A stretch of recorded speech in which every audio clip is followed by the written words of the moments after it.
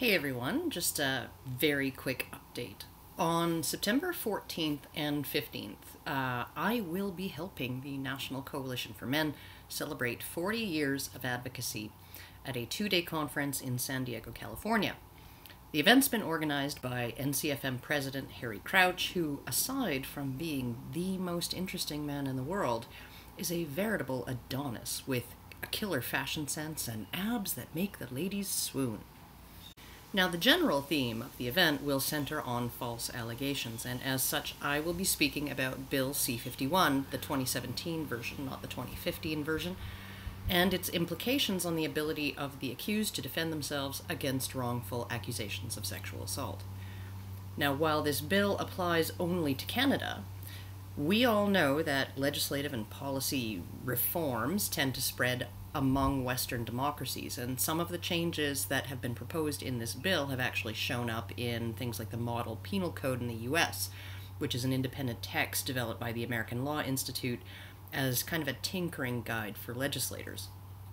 So, anyone who's in or around San Diego and would like to attend, I will leave the relevant details in the low bar.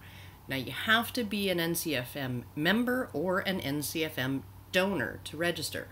But you can donate as little as a dollar or join for as little as $35 a year or 10 bucks a year if you're a student. So, really not that big a deal.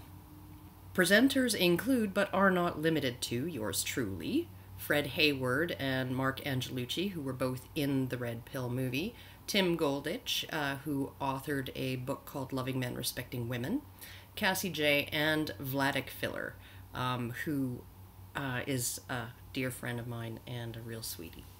The event will be held at the four star Best Western Plus Hacienda Hotel in Old Town San Diego, which boasts a pool and hot tub, exercise room, ironing boards for all, and allegedly stunning views of colorful slushy drinks with little umbrellas in them and mostly empty tequila bottles. Or at least it will once we're done with it.